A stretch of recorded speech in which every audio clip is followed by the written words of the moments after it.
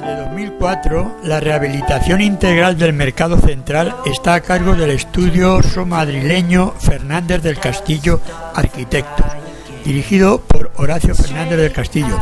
Su intervención ha constituido una restauración completa del edificio y una puesta al día de una función comercial como mercado de sus instalaciones. Está situado en la Plaza del Mercado, al lado de la Lonja de la Seda y la Plaza de la Ciudad de Brujas.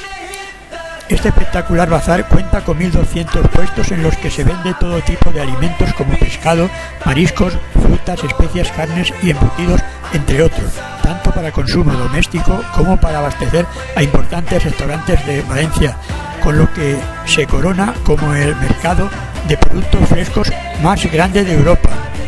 La compra de este lugar está cargada de gran encanto por la belleza de su arquitectura y la tradición e historia del mercado. Combina el metal de las cúpulas y el vidrio, las columnas, el recuerdo gótico del modernismo, como si de una catedral de comercio se tratara.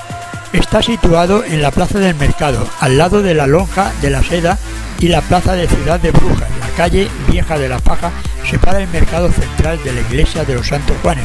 Este espectacular bazar cuenta con 1.200 puestos en los que se vende todo tipo de alimentos como pescado, mariscos, frutas, especias, carnes y embutidos, entre otros, tanto para el consumo doméstico como para abastecer a importantes restaurantes de Valencia, con lo que se corona como el mercado de productos frescos más grande de Europa.